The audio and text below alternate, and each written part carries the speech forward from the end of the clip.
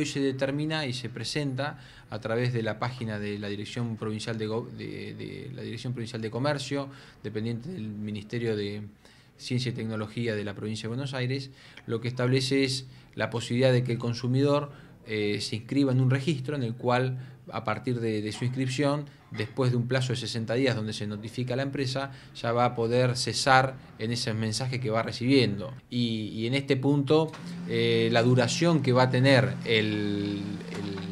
la, solicitud que va a hacer el consumidor es por dos años, renovable automáticamente por otros dos años.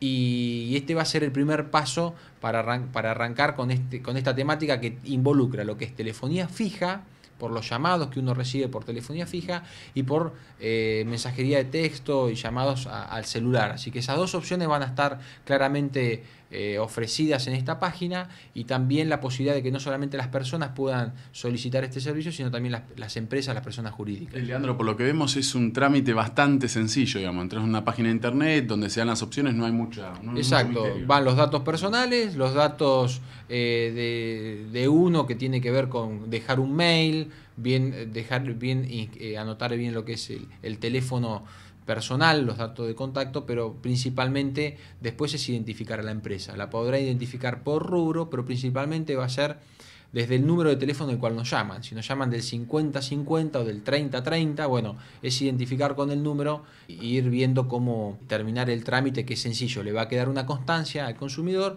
y esa constancia lo que pedimos que la, que la conserve, que la guarde por, para, por cualquier reclamo que tengas en el futuro. Exactamente, ese reclamo. Vamos a suponer que hacemos el trámite, pasan dos, tres meses y vuelvo a recibir el mensaje. ¿Ahí qué hacemos? Bueno, las opciones que tiene, la segunda opción para hacer valer el, derecho el propio consumidor es directamente comunicarse con la empresa.